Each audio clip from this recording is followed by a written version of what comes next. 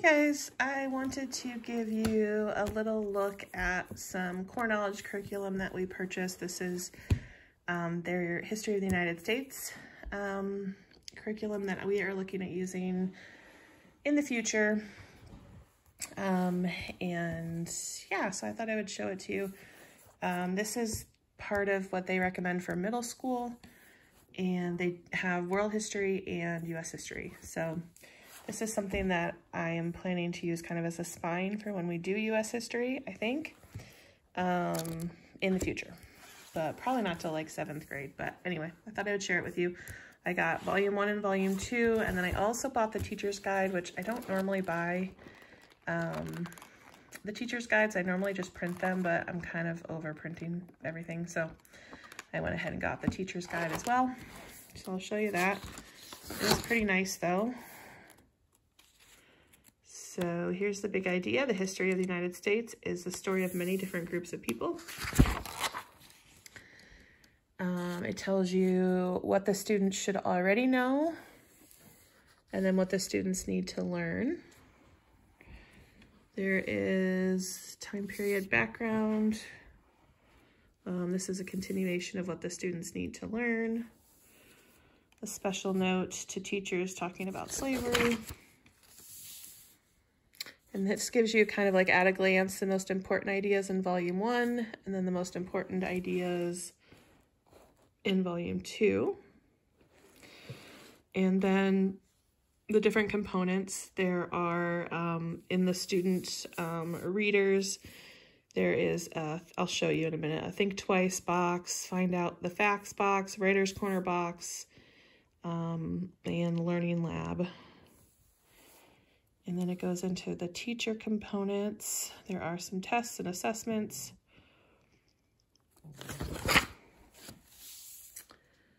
Um, it tells you what's in the teacher's guide, the pacing guide, what the teacher needs to know. Um, reading aloud, how you should still be doing that even in middle school. And then it tells a little bit about the different um, turn and talk, learning lab, talk it over sections that you'll see in the reader. And then the big questions in each chapter. So each chapter will have a big question that that chapter will um, help answer and it just gives you all of those at a glance. The core vocabulary from each um, chapter.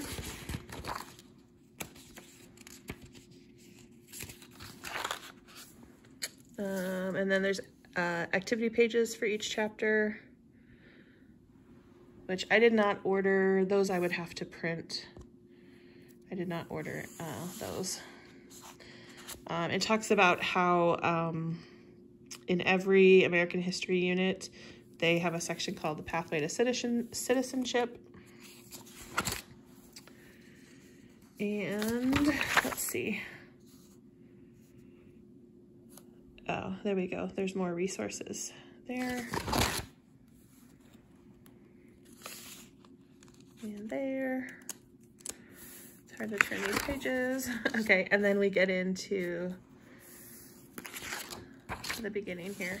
So this is what a chapter kind of looks like. It tells you the big question, the primary focus objectives, what the teacher needs to know, materials needed, the core vocabulary, more core vocabulary over here.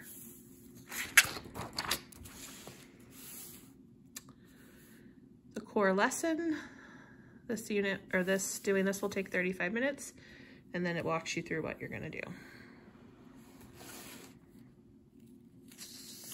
Has literal questions, support,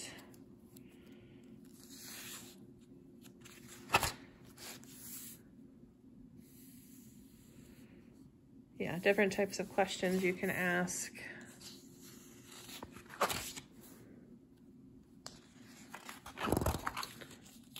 Oops. So that is one chapter that you're going over. And it looks like, let me go back here.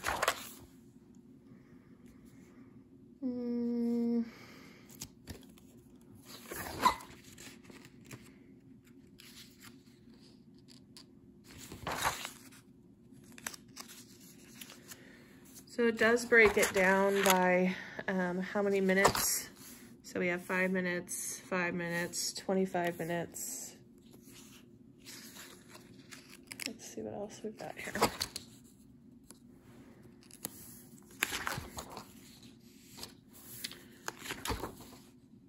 So it looks like that whole chapter is like a 35 minute lesson, if I'm reading that correctly. Anyway, and then it goes into the next chapter. Um, in the back, this is for both volumes of um, the readers.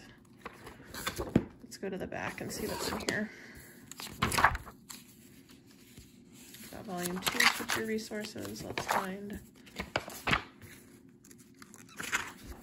volume one.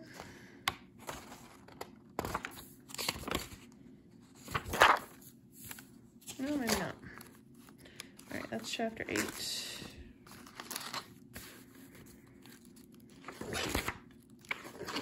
Those are some of the teacher resources. Looks like some answer keys.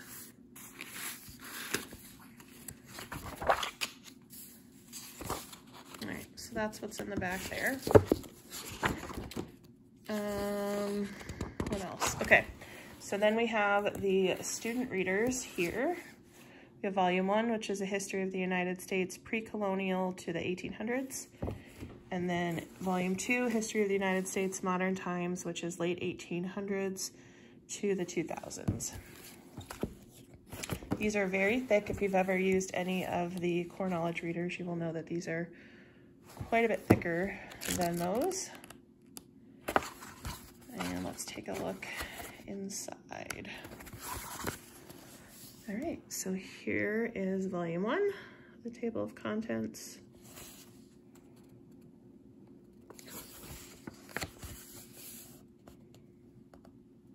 So um, there are vocabulary words interspersed.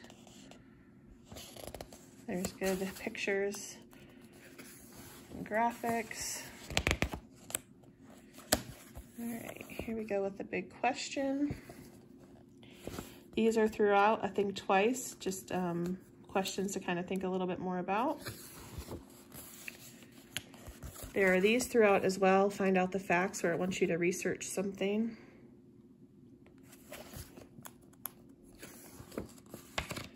There's some more vocabulary. Think twice. Vocabulary. The vocabulary looks like it's also bolded within the text. These writer corners are throughout as well. This one is write a paragraph on the various challenges faced by Indigenous people living in either a very dry environment or a frozen one.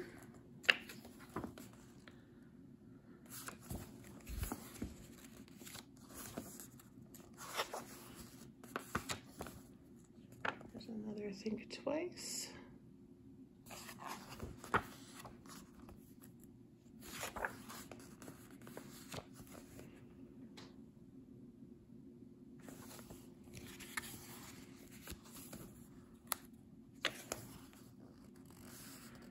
And then we get into the next chapter. There's another big question. And they're all laid out pretty much the same. Lots of these little boxes. Good pictures.